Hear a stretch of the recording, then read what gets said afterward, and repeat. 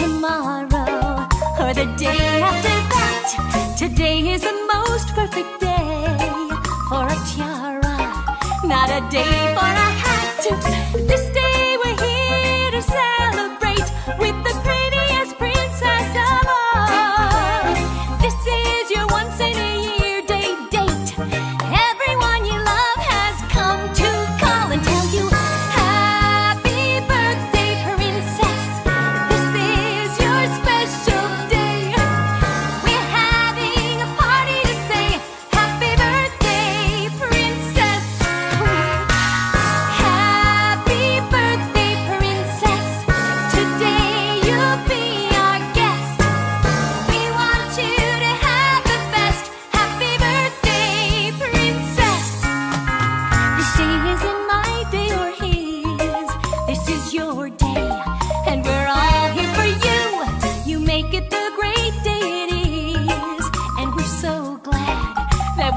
staring